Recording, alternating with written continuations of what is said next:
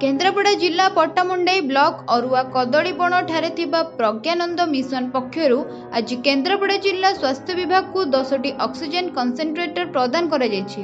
ଏହି oxygen concentrator ଗୁଡ଼ିକ ଜିଲ୍ଲାର କୋଭିଡ୍ ରୋଗୀମାନଙ୍କ ଚିକିତ୍ସା ପାଇଁ ବିନିଯୋଗ ହେବ।